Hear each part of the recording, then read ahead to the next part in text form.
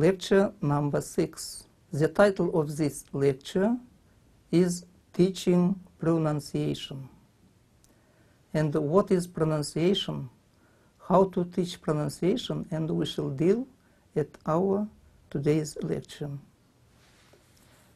The basis of any language is a sound, we call. Words are merely combinations of sounds. The acquisition of good pronunciation depends on the learner's ability of listening skills. Wrong pronunciation leads to misunderstanding, and each language has its phonic system. The sounds of English may be arranged in three groups. These groups are the first group is vowels, double vowels or diphthongs and consonants. There are many difficulties for pupils in sounding the combination of letters as th, which is pronounced as the, for example, mother, father, this, that, and the sound s. Uh, the example of uh, this sound is, for example, sin, uh, bathroom, and other, uh, you may take examples.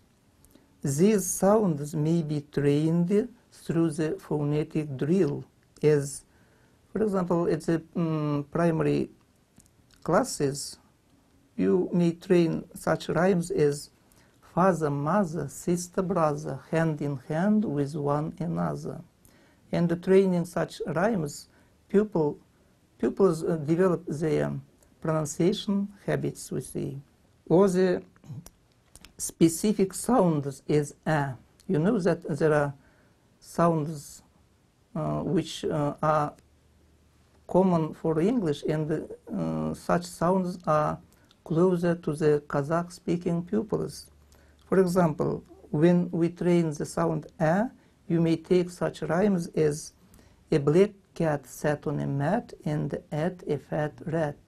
This exercise or this rhyme you may uh, teach, you may train individually or pupils um, may train this in chorus. When teaching diphthongs, the following rhyme can be used. For example, for diphthongs A or I, you may take such uh, rhymes as Rain, rain, go away, come again another day. Little Tommy, little Tommy, little Tommy wants to play. And uh, by learning such poems, pupils develop their pronunciation habits and skills. If the teacher is going to introduce the present continuous tense, pupils should be taught how to pronounce the sound n. This sound we meet also in the Kazakh language, yes? For example, uh, good morning, good morning, good morning to you, good morning dear teacher, we are glad to see you. This rhyme is often used uh, by teachers uh, when uh, the first form pupils or the beginners start to learn English. The teacher also take poems for pronunciation drill to help pupils to achieve good pronunciation of English sounds. And there are many poems or um, phonetic exercises which uh, teachers use uh, during the process of uh, having the English lessons. For example, why do you cry, Willy? Why do you cry? Why, Willy? Why, Willy? Why, Willy? Why? This poem uh, trains in pupils to uh, pronounce the sound w, how to they should pronounce. Or one, one, one, little dog run. Two, two, two, cats see you. Three, three, three, birds on the tree. Four, four, four, rats on the floor. And uh, this uh, or these rhymes are easy to remember to uh, learn during uh, the at the beginning of the lesson for phonetic exercises. Or another example is, for example, spring is green, summer is bright, autumn is yellow, winter is white. These poems are also helps the teacher and the pupils to better understand the pronunciation habits. The next, the teachers during their uh, process of teaching, concern in teaching pronunciation is to make sure that every pupil can articulate English sounds correctly with regard to sounds, stress, rhythm, and melody. For this aim, some proverbs, poems, songs may be learned by heart. For example, let us take such uh, proverbs as East or West, home is best, or uh, better late than never, we say. A friend in need is a friend indeed. Or another example is early to bed and early to rise makes a man healthy, wealthy, and wise. And by learning these phonetic exercises of proverbs or poems, pupils develop their skills and habits in pronunciation and also in learning the vocabulary because in these poems or proverbs many new words are to be taught for pupils and they uh, at every lesson they can enrich their vocabulary. Teaching pupils correct pronunciation can be taught only by a long, patient, and persistent efforts throughout the whole course of study. This is the title or the topic of our next lecture. Teaching vocabulary, it is important in teaching foreign languages in schools because at every lesson pupils must enrich their vocabulary by uh, constant uh, revision, by constant drilling at every lesson. To know a language means to master its structure and words, and the vocabulary is one of the aspects of the language to be taught in schools. The number of words pupils should acquire in school depends on the syllabus requirements. Thus, the school syllabus sets about 800 words for pupils to assimilate it um, and it is the vocabulary minimum. The analysis of the word in foreign language allows us to distinguish the following groups of words. For example, these are concrete, abstract, structural words denoting concrete things as book, street, sky, denoting actions as walk, dance, read, write, and the qualities as long, big, good are easier to learn than words denoting abstract nouns as world, home, believe, promise, honest, friendship, and other. Words of the language must be used in the act of communication. While teaching vocabulary, the word must be introduced in sentence patterns in different situations and um, end of intercourse and in intercourse.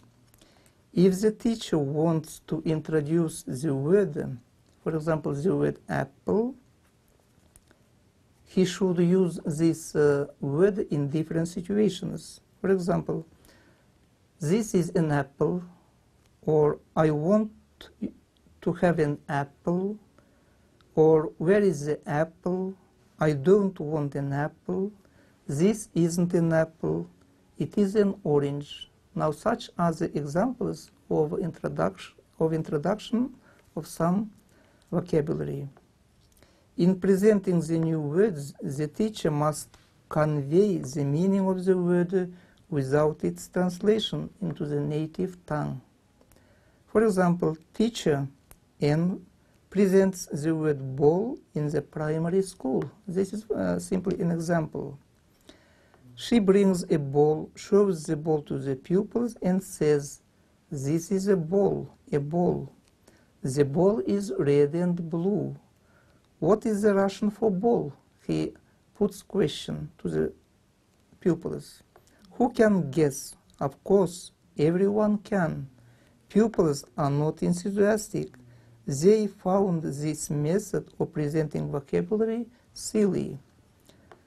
This example shows us that the teacher cannot work with visual aids and she fails in conveying the meaning of the new words.